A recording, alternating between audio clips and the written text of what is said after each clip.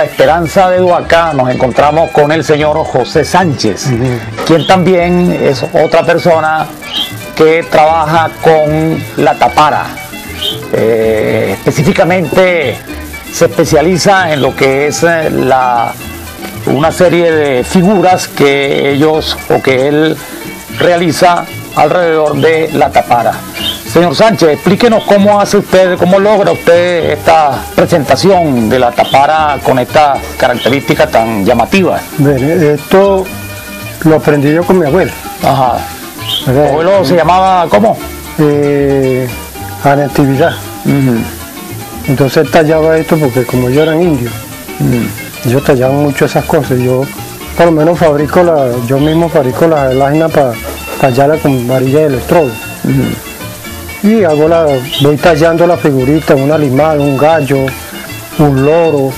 Ajá, pero ese tallado lo realiza directamente sobre la tapara cuando ya está seca o tiene que colocarlo? tiene que ah, ser tiene que ser verde apenas no la baja de la mata verde, uno la va tallando. Y va tallando y va tallando. La abre, saca toda la mirulla y la deja a secar. Después que se seca, esto se cocina en una olla grande con dividir. El dividir la cura. Mm. O sea, la cura que la macera, pues. Correcto. Y a macerarla ya no bota nada, conserva todo el líquido que uno mete aquí, piense a suero, licor, cuestiones que uno pueda guardar. Claro, claro. Y entonces esto lo utilizaría como recipiente para colocar algún, algún líquido, licor o suero en este caso. Yo le fabrico estos tapones, este va pegado aquí, con una pega especial. Aquí lleva otro taponcito con tipo copa. Ah, ok, esto va a quedar fijo entonces en la tapada. Exactamente. Esta pieza queda fija aquí, mm. esta madera. Por aquí uno le echa el líquido y aquí lleva otro tapón, que es una copa, que usted va a servir y una vez tiene la copa. Claro, claro, claro. a servir lo que va a sacar. Oye, excelente, me parece maravilloso pues las cosas que hace. Aquí tenemos otra. Puede observar la serie de figuras que le realiza. Es una cuestión, una obra realmente artística, ¿no? Bueno, señor Sánchez, lo felicito. Creo que esto es una labor que vale la pena que la continúe haciendo. y algo muy importante, tratar de enseñar a sus hijos, a sus descendientes, para que esto sea una actividad que no se pierda en el tiempo, sino que tenga continuidad. Claro, claro. Bueno, muchísimas gracias, señor Sánchez. Continuamos con nuestro recorrido por la artesanía con tapara, con la utilización de este precioso árbol conocido como tapara o totumo. En esta oportunidad tenemos con nosotros a la señora Leoncia Cárdenas, quien hace unas cosas preciosas, pero dejemos que sea ella quien nos muestre sus bellezas, su artesanía. Bienvenida, señora Cárdenas. Buenas tardes, bienvenido al mundo de las taparas. Eh, sí, le doy una utilidad a las taparas eh, en la cocina. Le doy utilidad en los envases para los dulces eh, yo hago arreglos florales en son unas tallas como puede ver, aquí están, son tallas de lechosa.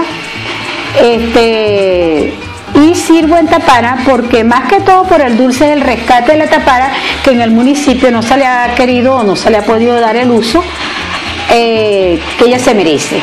Estas son nuestras primeras vajillas. Las taparas llevan eh, voy identificando al municipio, le pongo Duaca Crepo o por lo menos esta que he hecha por una de las niñas que están haciendo los talleres de tapara, le ponen su nombre y tallan sus taparas y tienen un, envase como para sus prendas, aquí ellas tienen sus cositas, puede ver, están ahorita en un curso de danza, en una exposición pero dejaron su trabajo hecho por si usted venía, pues aquí están para mostrársela al público. Ajá, ¿y cómo llega usted a, la utilización de la tapara como elemento artesanal, señora Leonza? Bueno, la tapara para, para mí, yo pienso que ella llega a mí, no, no suyo a ella. Sí, porque mi abuela hacía dulces y se salían a vender en conchitas de tapara. Esas eran los, no habían envases plásticos, cuando eso no existía el plástico, que servían en tapara. Uno tal vez muchacho no le, no le, no le pone, no le da la atención, pero en la medida que uno ya es adulto, que uno yo soy artesana por naturaleza y pone en práctica lo que aprendió de sus abuelos sin darse cuenta, pues entonces viene la utilidad.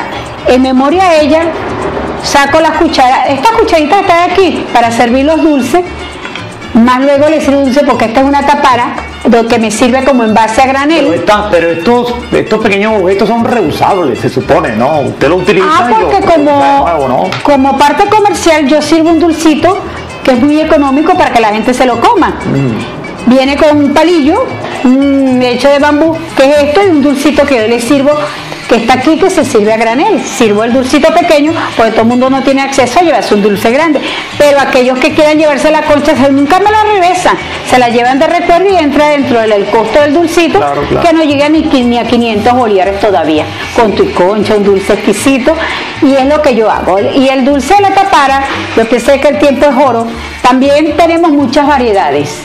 En este, el, cuando se hace el dulce, es más aprovechable la belleza, porque con arreglo floral en estas conchas grandes y bello. Ahorita no tengo ninguno armado, ni estoy preparada ahorita en este momento para armarle uno, pero en otra entrevista donde, o cuando vaya por la casa. Este, por ejemplo, es precioso, ¿no? Esto tiene prácticamente un asa, le hizo allí, ¿no? Muéstrale Esto es una cesta, una cesta, simplemente se le hacen los cortes, los cortes necesarios el emboplaje da un brillo, pero vamos a ver si le quitamos un poquito. ¿Sí se ve bien la, flor? Ajá. Esto es, va a identificar, esto es una cesta, una cesta llena de dulces, pero estos que está aquí son tallas helechosas. Y va identificando la tapara con duaca. ¿Qué se ve esta diferencia entre el tamaño de esta concha y esta concha, no? Ah, la diferencia es que esta, esta es nieta de esta. No, no, es por variedad. Eh, hay tapara, esta es una variedad que la tapara es redonda, es redondita, larga, muy larga, muy fina. Y me da de la tapara, me da cuatro cucharas de estas que estás viendo en la mano. Aquí hago unos dulces preciosos, se detalla más la, el arreglo floral en esta.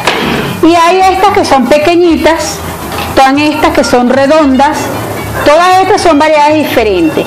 Por mucho que eche más, que crezca, que madure, nunca va a alcanzar el tamaño de estas grandes. Claro, Y en cuanto al tamaño, ¿hay taparas que pueden sobrepasar el medio metro? Sí, sí hay. A mí me han llegado eh, una muy hermosa que me alcanzaron 80, 80 centímetros media. ¿Cómo sería que me daba lástima hasta picarla? Porque de verdad se lo hubiese podido conservar toda la vida, pero eh, las cosas no son así. Eh, si se abona, se cuidan y ellas tienen, alcanzan un buen tamaño. Esta que está aquí, esta que está viendo acá, esta es hermosa, esta tapada tiene un tamaño bastante elegante, bastante bonito, ¿ves? Y le hace aquí unos detalles muy llamativos, ¿no? Sí, esta es la este, esto es una cinta de, concha de chaguaramo. Esta, esta, sí. esta. Y esta que está viendo acá, que esta es la misma variedad, pero esta, esta se quedó pequeña, esta es concha de guásimo. Se utilizan conchas para darle otro toquecito especial, pero que sea natural. Siempre la tapara eh, trato de, trabajarla con cocuiza. Tengo unos atuendos de cocuiza que están acá, que son estos. ¿También los trabaja usted? sí, porque ella sirve de asiento, porque la tautuma eh, ella es eh, inestable, porque es redonda como un balón, y ella sirve de asentadero. ¿Verdad? Entonces estoy dándole a promover también la producción del, municipio de la parroquia José María Blanco con una parte xerófila, pero se da la cocuiza. Pero siempre el trabajo mío es la preservación de la, del totumo o la tapara, porque a mí me sirve de envase para los dulces, que muy gentilmente y con mucho gusto lo hago para toda Venezuela, porque empecé a hacerlo para los de Crespo y se lo llevan más para afuera que los mismos crespenses. Ahora, ¿de qué manera, señor León, señor que, que pudiera hacerse, digamos, una especie como de diseminación de, esta, de este conocimiento que usted tiene? Conocimiento riquísimo, que no, que no se perdiera para las generaciones venideras. ¿De qué forma lo, lo practica?